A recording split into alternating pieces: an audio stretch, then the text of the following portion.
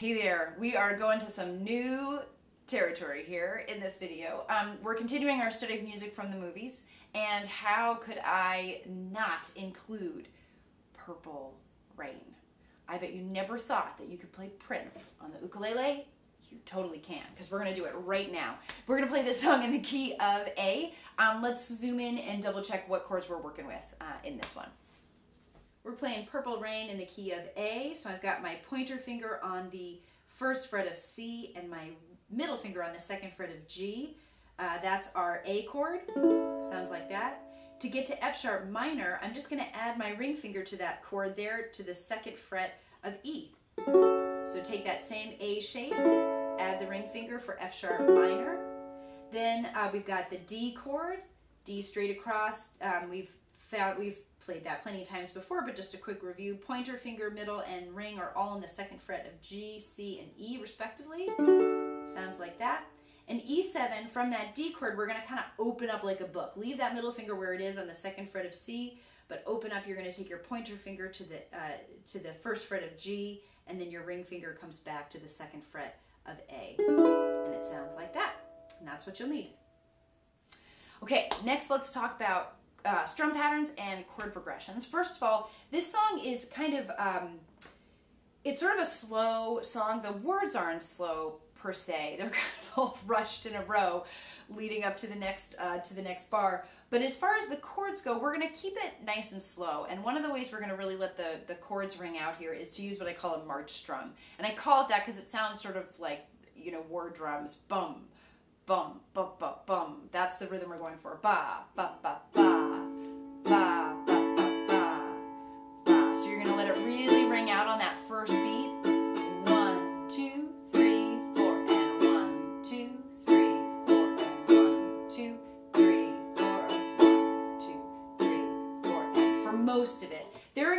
times where you're to see me, um, like for example, when uh, you get to the end of the chorus, we're on the E7 chord. Only wanted to see you laughing in the purple rain. So kind of leading up to that, you're to see me bring in more beats, right? I'm not to stick with the march drum all the way through it. Um, so you can kind of experiment with that as you like. But for the most part in the verses, I'm to leave it leave it open um, and sort of have some flexibility in there depending on how I feel like playing the song. And you are welcome to do that too. As far as chord progressions go, um, we've got a verse pattern and a chorus pattern, and luckily the song is so slow moving that it should be fairly easy to follow. Let's take a look at verse 1, um, and we're going to try the A, one, two, ready, and A, then F sharp minor, E7, and then D. All two bars each. Then we go back to A, one, two, three, four, one, two, three, F sharp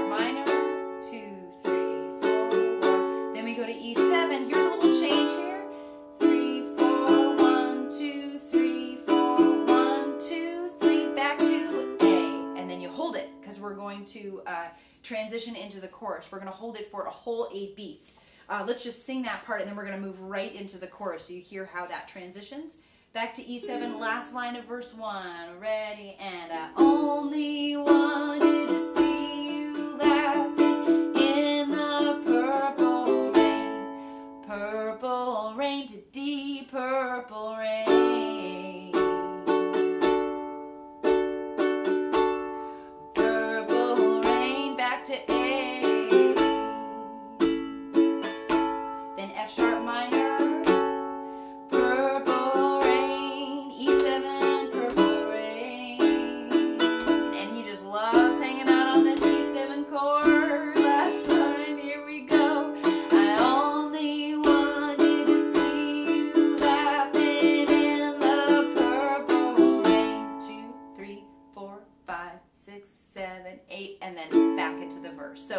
Again, there's lots of room in this song for silences, for long drawn out chords. It's just kind of the kind of the gist of the whole thing. So watch out for that at the end of the chorus. We play that A chord and we just sit on it for eight beats before we get back into the verse. So those two patterns are fairly consistent. Um, what we're going to do at the end is play. Um, so we're going to do verse one, chorus, verse one, chorus, and then we're going to sing the chorus again. And that'll be the end of it. It's a slightly uh, shorter version of it because, as we know, Prince loves to go off on these mad guitar solos, which we're going to let him do um, in his songs. But as far as our sing along goes, we're just going to keep it keep it to that. Um, and as a reminder, if you don't, I've been looking at this chord chart here. If you don't uh, have one from class, you can download one on my website. When you are ready, we're going to move along and just play through the whole thing. Here we go. All right, I'm starting on my A chord here, and we're just going to start off with a vamp on that March strum. Here we go.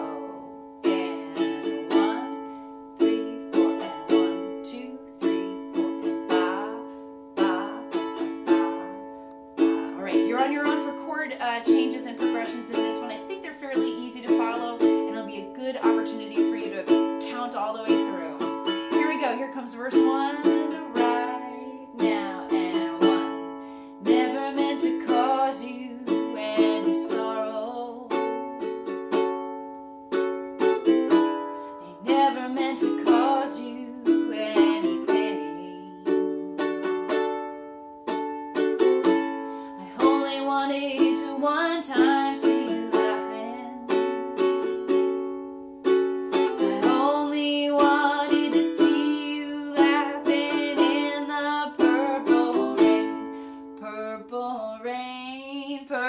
Purple